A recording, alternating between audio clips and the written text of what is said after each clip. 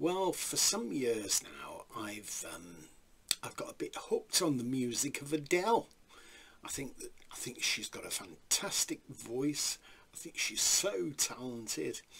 Um, however, this is no criticism at all. However, uh, she has been doing a residency in Las Vegas. Now, I don't know where in Las Vegas, and I know a lot of artists come unstuck uh, taking up residence residencies in uh, Vegas because um, I, I, think they're going to them without really realizing what's going to be demanded of them. Anyway, professional down to her fingertips. Um,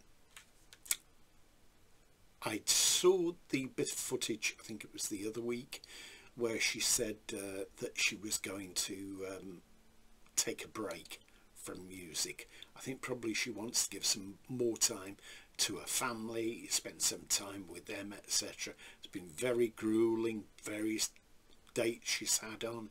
Uh, people always have the, the big, big expectations for the next album and the next album. And I think that's how it how it goes once you've had a lot of success and if you've had multi-platinum albums etc etc um, people think oh is, is this going to be better than the last album or it's not as good as the last album? All successful artists go through this kind of phase. So she's taking a break. Some people say maybe she's burnt out maybe she's had enough maybe that's it I don't think that's it, that at all. I think she wants time with the family. And uh, I'm sure she'll come back with some great music as and when she's ready. It's not as if the albums are pumped out every nine months or anything like that. A lot of care is taken with them. And, um, you know, they're very finely honed. Anyway, for my money, this is my favourite Adele album, 21.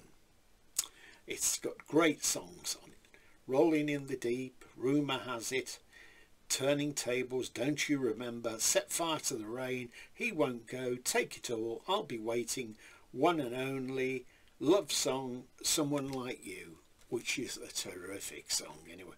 And we, we have heard it before, Adele, um, as well, from memory. Um, anyway, that's my Adele album of choice. And look at that fantastic photograph. She's a little bit like me you see. Just cannot take a bad photograph. How I kid myself. Anyway uh, maybe you've got this in your collection and, and all the other uh, Adele CDs anyway. But uh, that's my three penneth as they say thanks for watching. If you've got an opinion please leave it in the comments.